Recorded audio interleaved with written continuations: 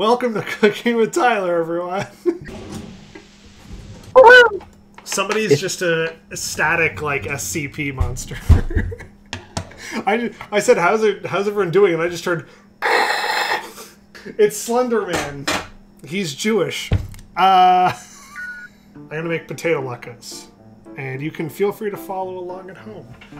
If you have, honestly, like a lot of this is just pantry staples. It's eggs, potatoes, an onion, baking powder, and flour, salt, pepper, and then you just fry it up. It's it, it, it is such a simple recipe. Is everyone just quiet? Well, if you're turning this into an actual show, like later, I don't want to like talk over your instruction. No, no, you should be talking. This is this is uh you're welcome to just this we're we're just chatting. I'll cut out whatever funny bits happen. No, no using the microwave in in this one. No. You cannot microwave latkes. They have to be like made in oil. People bake them and they're like they're not crispy. You need the you need a crispy potato. You know what? I'm not going to peel this because that is going to take way too long. I actually like the skin of the potato being fried up. I'm going to rinse this. This is I I might genuinely bleed on this video, so apologies because I'm going to be using this grater and it's just very very dangerous. God, Tyler, be safe, please. Have you ever seen Portal 2 the musical? I was about to ask you that. I have seen that. I I, I think it's wonderful. I Yeah. I am very saddened every time I see a parody musical that did way better than any of the ones I ever made or Oh. produced. Um, but that one is is really really good, and they, I think they did a good job. This is gonna, this is gonna take a while. Welcome to potato shredding ASMR with Tyler. Hi. Today I'm gonna shred some potatoes. So after you shred potatoes, they oxidize pretty quickly, so they turn brown, which is really gross. But we're gonna clean all the starch and stuff off of this using a very magic trick. Oh, do I even have the right? Good enough. To drain potatoes, we're gonna put it into a piece of fabric, and then we're gonna squeeze it and twist it so all the juice runs out. This is the same recipe like my family has made forever. Like, I don't think we had this like when um, I think we maybe got rid of the original book, and then my brother wanted to make latkes and found this so I could make it. My brother would like put cookies in the oven, leave the room, close the door, the buzzer would go off, he wouldn't hear it, and then he would come rushing back and be like, I'm so bad at cooking. And all Oh, the no. cookies would be brown or uh, would be burned. And I'm like, you're not bad at cooking. You need to just stay in the room if something's in the oven. He would do the same with chicken. It would be like, it'd be like completely burned on the outside. Not like nice and like crispy. Like sometimes chicken is very good if bits of it are crispy. But it would just be like dark brown chicken and it would be so dry. You know what the best part of this is? Uh, is that I've dusted this light fixture, so so flecks of dust won't be floating down in the middle of the video. When we went to Coronado, they were like, "Oh, we're gonna give you the the new." I found a Korok seed. Uh, they were like, "We're gonna give you the newest room." It was just refurbished, and then when we got in, I remember like the air was like, it looked like the, all the dust had like settled since like they had built the place because you could go like this at the kitchen counter or the bathroom counter and there was like it looked like sawdust. They were still like building the other rooms so i don't know if maybe like that stuff gets in the ventilation or whatever. Okay we got six shredded potatoes okay so now we got this soupy mess right here. So we're going to uh, drain this by putting it in this cloth and then twisting it out. Ugh, gross.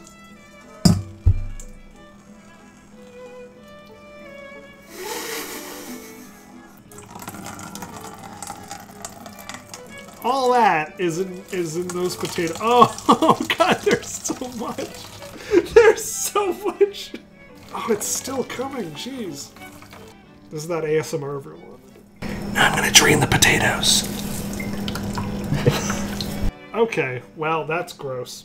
So I'm just gonna I'm just gonna give a visual example.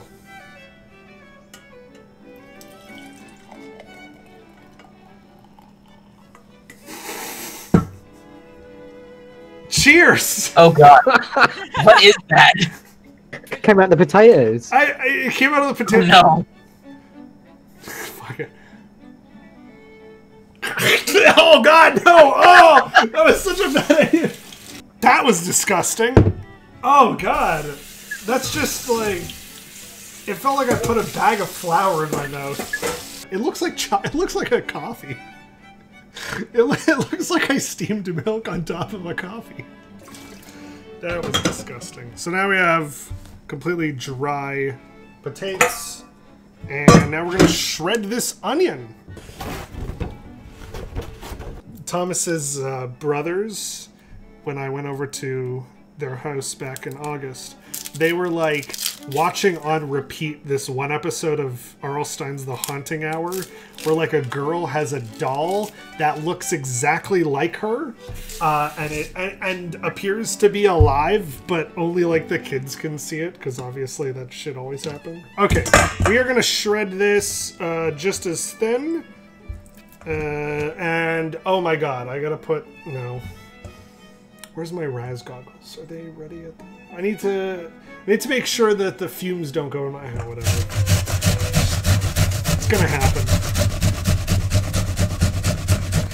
Uh, it doesn't shred into like strings though. This shreds into like little tiny blobs because it's it's not hard enough. It's too soft. Oh my god. Ah! I just watched the beginning of Up. So did uh did anyone watch The Prom? Not yet. I need to watch that. The more I think about it, the more frustrated I am with that movie. Like the beginning part where she's singing "Just Breathe, Emma," she's like smiling the whole time, and then later on in the movie, when we see her at like her grandmother's house or wherever she's living, uh, she's like she hasn't she's i've never seen her smile this much since you guys came here. And i'm like she was smiling literally every scene throughout the previous part of the movie. What do you mean you haven't seen her smile this much? All right next olive oil. That was a terrible gordon ramsay impression. He loves olive oil olive oil in now there's a lot of onion juice in here and I guess we'll just keep that because onions are onions are mostly juice. Gordon Ramsay told me that. Uh, uh, oh. I just got potato everywhere. Okay. Add remaining ingredients. This is a very complex dish you shred two things and then you just put everything else in. I bought smaller a smaller package of eggs and then I got a bigger package of 18 eggs.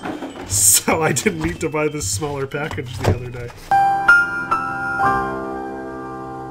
They charge like 20 cents extra for large eggs to extra large eggs. And I feel like that's a giant ripoff. I feel like they all look exactly the same size. Meanwhile, Hercule Poirot is probably like, no, these eggs are not the correct size. Okay, three eggs. Bam. People, there are egg cracking machines in case you're an idiot and don't know how to crack an egg. It's not that hard.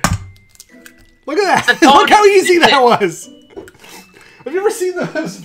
Like those videos where it's like is cracking eggs too difficult? And they're like uh, uh, and it goes everywhere and like shells are everything. It's like oh oh my god. Half this video is gonna be me just like trying to clean my eyes from the from the stench. Shut up! I've got this giant pan that's also like one of the non-stick kind and it's this has become my new favorite pan because stuff just slides off. Okay, don't take this out of context, please. A quarter cup of flour. Hello. Oh, oh, hi Ben. Okay, quarter cup of flour. Oh god, I made way too big of a batch of this. You cannot refrigerate this either because it'll go bad. Probably. I don't actually know. No, you can't. Okay. You're right. Came in late. What are we making? Latkes!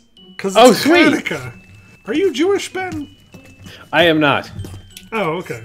but I do like enjoy latkes? Fair enough. So tea, two teaspoons of baking powder, not baking soda, baking powder, yep. which has an extra thing in it. So who wants one? I would love one. Please give me your address, and I will mail you. I'll mail you a pizza roll. Yep. Like I'm, I'm, I'm torn with my mental image of this. Like, would I be getting just like an envelope that has a pancake in it, and I just kind of open it up, and I'm like, well, this is a thing, or would it be like one of those frozen dinner things where it's like you've got all of like the the uh, frozen uh, dry ice in there to Yeah, keep it would be like it would be like freeze dried, and you have to like like moisten it back. up. Like it'll be like this big, and you have to drop it in water. Like one, put it like in my those- hydrolator. like one of like one of those foam. It's like a pellet, and then it turns into like a plush dinosaur, like one of those. well, this I didn't think about. The oil is not spreading in the pan. Is the stove on? It's it is, but it's non-stick. Oh no, wait, it's I- working. We're good. It's just it's non-stick is the problem. Okay, I need like an assembly line going on here. Where my sizzle at? That is way too big. Okay, I made that way too big. I need a smaller. this is already a third of a cup. There's nothing smaller than that. My spoon's too Okay, let's- big.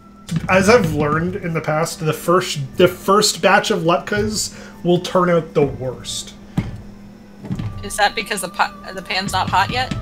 Yeah, and like once it gets up to the right heat, like then you'll start to like get the hang of like how long it takes and when you should flip it and everything. I don't know this pan yet, so we might just be here forever. What is your favorite uh Hanukkah me- holiday memories, let's say? Nope. I've got a weird one. So the one of one of the first uh, WDWNT marathons. So this is like more more Thanksgiving-y, but it kind of bled into Christmas for me. Um, I I was working on my master's thesis, um, and my family this year, before realizing that I would be spending the entire holiday trying to get my master's thesis done, uh, planned a trip to Disney World. Uh, so they went without me. Uh, Wait, what? they they left me home to work on my thesis, and then they went to th- uh, have Thanksgiving in uh, Disney World. Oh, Um, and we have never had Thanksgiving in Disney World since. so, I'm sorry. but gosh darn it, I got the thing done, and I don't regret it for a damn second because it's over now. pour the pour the beverage of Jewish Canadians, Canada Dry. Whenever I would go to like my fa- like my grandparents' house. Um, or any other family member, they wouldn't have they wouldn't have Coca Cola. They would have ginger ale, and I so vividly associate that with Jewish cooking specifically. I just associate it with living with old parents. Uh, oh man, I watched King and I. I hated that. Oh, I hate hate King and I. I hated everything about King and I, including its incredibly depressing ending. Yeah, I King and I is my least favorite. I mean, it's definitely my least favorite Rodgers and Hammerstein. I don't know if it's like my least favorite Ooh, ever, but ooh, I I never like Rodgers and Hammerstein. I was in Oklahoma, and I hate that show. It is Really? the worst. we even like in Toronto, we have this place called. Str- Well, it's not in Toronto, but in Ontario, we have Stratford, which hosts the Stratford Festival. It's a huge uh, festival of like Shakespeare and plays and musicals and everything. And so we went to uh, the year that my school did Oklahoma. They were doing Oklahoma, so we went there and watched it from like the rafters, essentially. I I hated every version of Oklahoma I've ever seen. Uh, I genuinely hate the Hugh Jackman version. There's a I do- gay version out there. I just don't remember what it's called. Gay Oklahoma. You can't be, what are you saying? You can't be gay in Oklahoma? Okay, now my whole house is gonna start smelling of oil. so I'm gonna turn this down. Ooh, baby, I love the way. It's Lutka magic. It's better than- no, no. Here we I go. mean, Here's I- our first Lutka. Yeah. I enjoy. Oh, what is the name of it? That um, it was Shit, it was I'm on so Mystery good. Science Theater three thousand. It's the one with the the boy and the alien, and you, he, he Mac and pushes Me? the kid off. Yeah, Mac and Me. Thank Oh you. Oh my god, that I was love so that. Like I I enjoy Mac and Me. I do not necessarily think it is a good movie, but I enjoy it.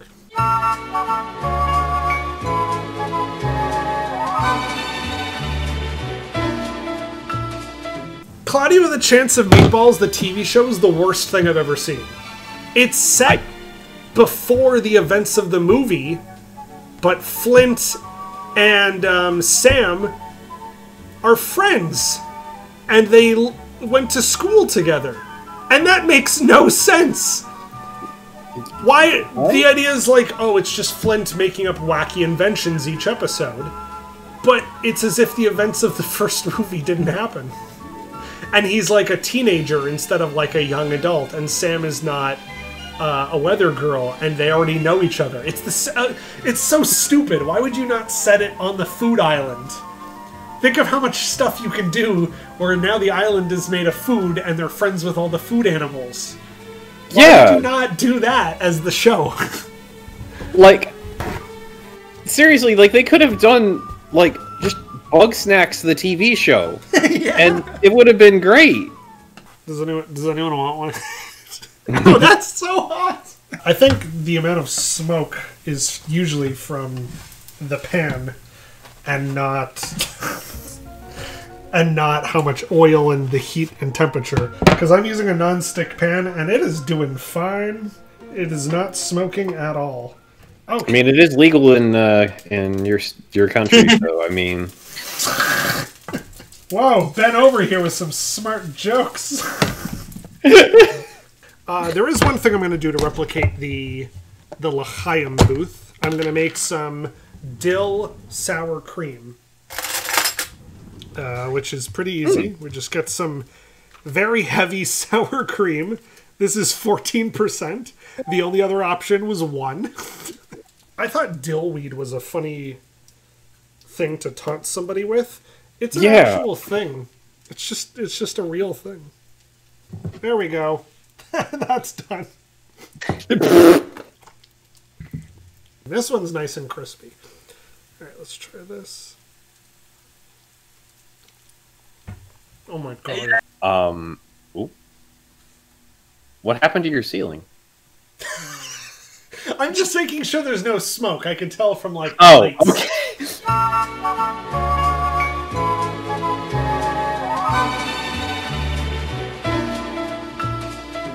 I would just like to say, when it came out in theaters, I loved Indiana Jones 4. And then very recently, I watched all four in chronological order. So start with two, then one, then three, then four. Hmm. Four is terrible. yeah, it is. Like Three were the, mo- the clear movies have a very specific way of working structurally, and the fourth one just does not fit that at all. And also, like even during the action scenes in the other ones, at least there's like dialogue during it. Like the tank scene, there's a whole lot of like talking between characters going on, especially with like Sean Connery um, and the principal character. But in the fourth one, the action scenes are like near silent as crazy stuff just keeps happening oh like so fast. I could I could see why why if you watch them in order you can see that the fourth one just is trying way too hard to be a modern action film. Which sucks cuz a lot of the fourth one is pretty good, I think. Ginger ale is my alcohol. I don't drink uh, alcohol. I, I drink way too much soda. I had to buy alcohol. I had to buy some um, some white wine so I can do uh, s- some cooking because when I cook certain ingredients or certain dishes, I use some alcohol to like get some flavor in there and deglaze the pan. And so when I went, I was like, "Oh, I have to get wine," and they're like, "Oh, this is the cheapest, and this one is more dry." And I'm like, "What does dry mean?" And the person just like it's like like they'd never heard anyone ask that question before. like I just genuinely did not remember. I've asked that question to people a couple times, and usually it's met with stunned silence first. Of like, what do you mean you don't know what? Like, I've asked them, like, it's like if somebody told me the desert is dry, and I'm like, what do you mean dry? And I'm like, like, no, that makes sense. I know what that means. This is a fluid. How can a fluid be dry? Yay! Oh, nice. That's it. Yay, we did it! And I got my uh, dill dip. I ordered smoked salmon so I could put a big scoop of it on top, like uh, at the actual Epcot food booth. Except my Instacart guy could not find smoked salmon, so they refunded me. Well, I'm gonna eat these on during the show today. Thank you everyone for coming to watch me cook latkes. By the way, here's Thanks, the recipe. Tyler. Screenshot Thanks, that. Tyler. Oh, Hanukkah, oh, Hanukkah,